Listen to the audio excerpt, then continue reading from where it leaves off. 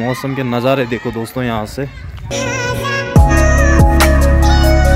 Hey guys और सब कैसे हैं आप सब? आई होप सब अच्छे होंगे and welcome back to my channel so guys अभी हो रहा है टाइम सुबह के 11 और मैं आया हूँ आज प्रताप नगर और जिस लोकेशन में मैं अभी हूँ, यहाँ पे है प्रताप नगर, राजा का महल। तो मैं आपको दिखाता हूँ राजा का महल। सो गाइज़ अभी मैं दिखाता हूँ आपको राजा का महल। यहाँ पे हुआ करता था और राजा का महल की अभी क्या स्थिति है, वो भी दिखाता हूँ। गाइज़ ये है प्रताप नगर में राजा का महल, जो कुछ टाइम तक राजा का महल हुआ करता था बट अभी तो ये किस स्थिति में है, वो दिखाता हूँ मैं आपको।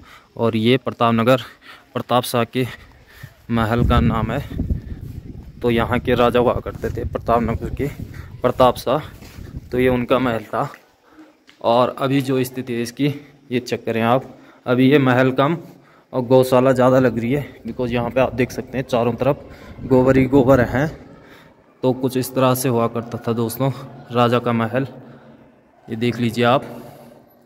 और उस टाइम के अकॉर्डिंग ये बहुत ही यूनिक हुआ करता था। तो ये देख लीजिए, यहाँ पे चूल्हे हैं और इससे, और ये अंडरग्राउंड चिमनी की तरह है।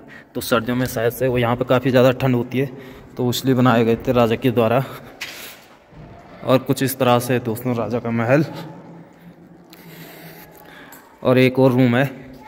बट इसकी भी स्थिति वही है। चारों तरफ़ गोबर ही गोबर है यहाँ पे। बिकॉज़ अभी यहाँ पे कोई रहता नहीं है। तो पहले यहाँ पे प्रताप नगर के राजा हुआ करते थे, प्रताप शाह, वो रहते थे। तो उस टाइम के अकॉर्डिंग और अभी भी बहुत बड़ा है। ये देख लीजिए आप, और कारीगरी देख लीजिए, उस टाइम पर कैसे हो रखी थी राजा के महल में। और अभी देख लीजिए दीवारों की क्या हालत कर दी है लोगों ने। और एक और रूम है। और काफ़ी रूम है इस पर और सभी रूम खुले हैं। और आप देख सकते हैं एयर पास होने के लिए बड़ी बड़ी विंडो हैं उस टाइम की, लगा रखी राजा के द्वारा। देख लीजिए आप। और काफ़ी यूनिक तरह से बना रखा है। तो मेन एंट्री यही है, जो मेन हॉल है। और एक रूम वो है, एक ये है। और ये एग्जिट है इसका। और यहाँ से आप देख लीजिए। और हवाएँ देखे थे दोस्तों यहाँ पे, किस तरह से चल रही है। सो so गाइस राजा के महल की स्थिति आपने देख ली है। अभी तो पूरा खंडर हो चुका है और पूरी तरह से गौशाला बन गया है एक तरह से। यहाँ पे मुझे लगता है गाय गाय रहती है। अभी तो हालाँकि कोई गाय है नहीं यहाँ पे।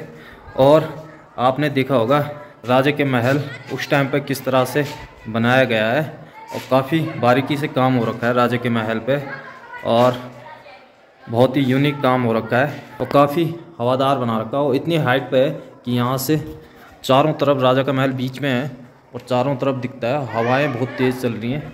आप अगर देख रहे होंगे तो कुछ इस तरह से राजा का महल हुआ करता था। और ये जो महल है, ये प्रताप नगर के प्रताप शाह राजा का था। अभी मैं बाहर आ चुका हूँ दोस्तों। अभी दिखाता हूँ राजा के महल का आपको कंप्लीट व्यू और यहाँ से क्या क्या दिखता है चारों तरफ़। और पास में इंटर कॉलेज भी है तो वो भी दिखाता हूँ। तो यहाँ पे बच्चे काफ़ी आ रखे हैं अभी तो खेल रहे हैं। ये देख लीजिए आप, बाहर से कुछ इस तरह से दिखता है राजा का महल।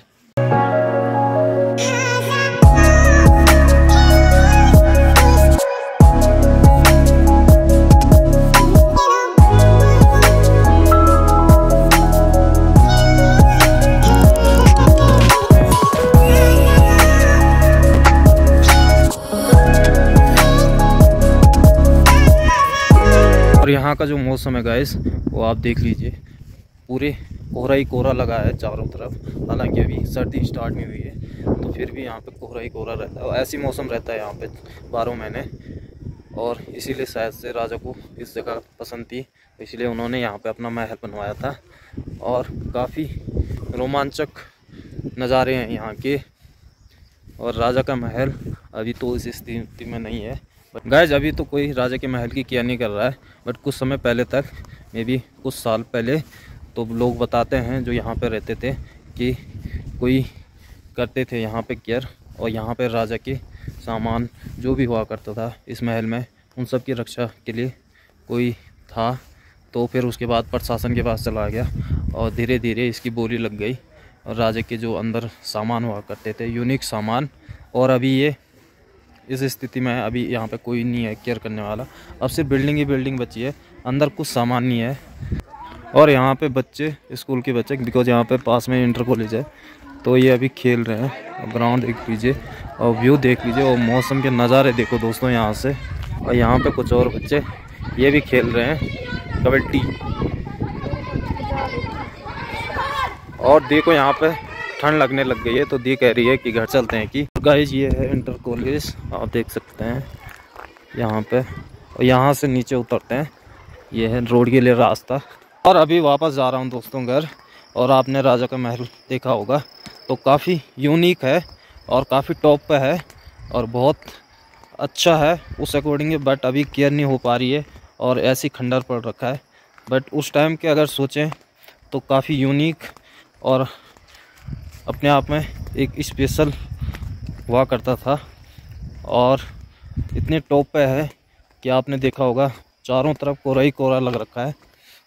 तो उस टाइम पे राजा जो लोग हुआ करते थे, वो टॉप की जगह चूज़ करते थे अपने महल के लिए, ताकि उन्हें अपने एरिया को चारों तरफ़ देखने को मिल सके।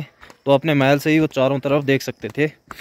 तो इसलिए वो टॉप की जगह चूज़ करते थे और काफ़ी रक्षा भी होती थी उस टाइम पे और राजाओं से महलों की। तो इसलिए भी टॉप की जगह चूज़ करते थे। बट अभी जो है, राजा के महल की स्थिति वो थोड़ा बहुत ही मतलब ख़राब हो गई है। बिकॉज़ अभी कोई केयर नहीं करता है। तो चलते हैं दोस्तों आप घर और आज के इस ब्लॉग को करते हैं यहीं पे समाप्त। आई होप आपको वीडियो पसंद आई होगी। वीडियो पसंद आए तो वीडियो को लाइक कीजिए कमेंट कीजिए और शेयर कीजिए। चैनल पर नए हो तो चैनल को सब्सक्राइब ज़रूर कर दीजिए। मिलते हैं गाय ऐसे ही किसी नए ब्लॉग में। तब तक के अपना ख्याल रखिए till then bye love you